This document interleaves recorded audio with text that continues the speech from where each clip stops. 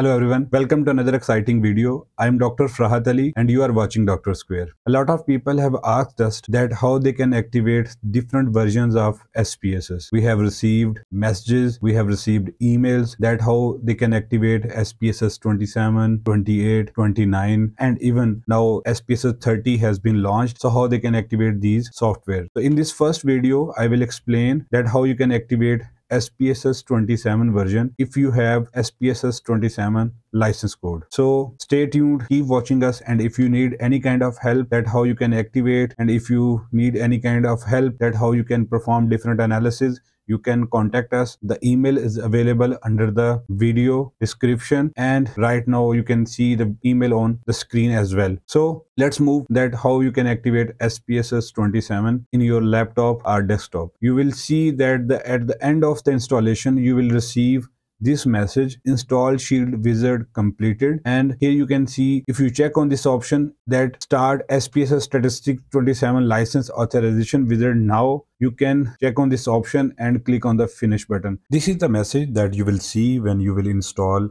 spss 27 in your laptop or desktop. Install shield wizard completed. Now the software has been installed in your laptop or desktop and you will see another option of start SPSS statistics 27 license authorization wizard now. If you will check this option and click on the finish button, you will see a new page will appear in front of you.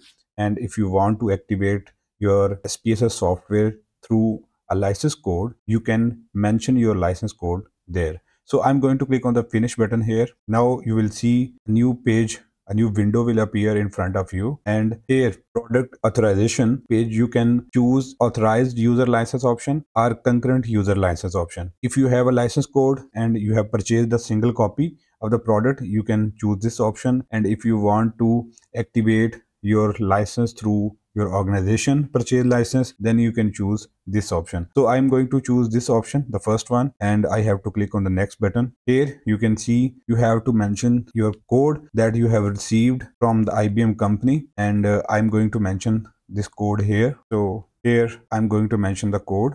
So i have pasted the code here and uh, now I have to click on the add button. When I will click the add button, the code will be entered and now I have to click on the next button. Here you will see the authorization is in progress and uh, when you will see this whole option in green color, it means your license has been activated and you can also see the message here successfully processed all codes.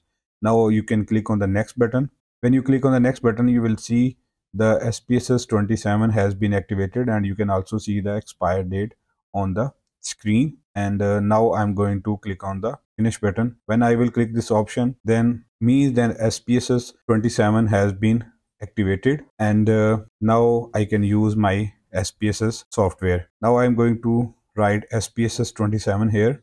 And uh, let's see whether the activation has been successful or not. You can try enter the data in SPSS and see whether you can perform or even can enter the data in your SPSS file or not. So here it's taking some time.